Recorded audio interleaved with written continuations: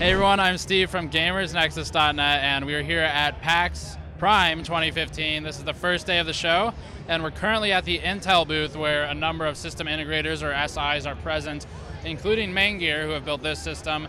We could not find a, a rep to talk to, but I think I figured out the specs here, so pretty straightforward. And we just wanted to show it off because it's a, it's a really nice looking system and it has insane cable management.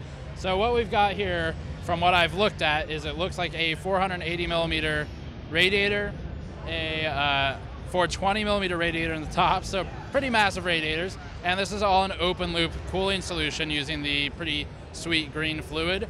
And that runs through the two GPUs. There are two in SLI. I am not sure which GPUs those are. And it goes to the CPU, which is an i7 6700K on the Z170 chipset using an Asus motherboard. I believe it's the Z170 Deluxe A motherboard based on the aesthetic. So that's what we've got in terms of the core specs.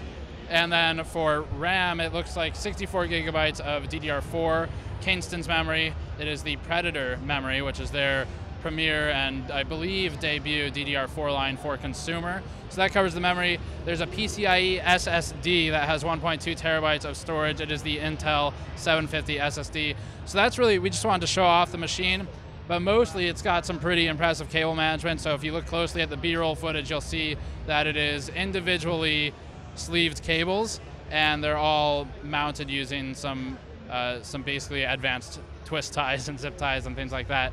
So that's the first video for the Intel booth. Check the channel for other PAX Prime 2015 videos. We've got Sword Coast Legends going up, uh, Battleborn, and some other games, Assassin's Creed. So that's all for this time. I'll see you all next time.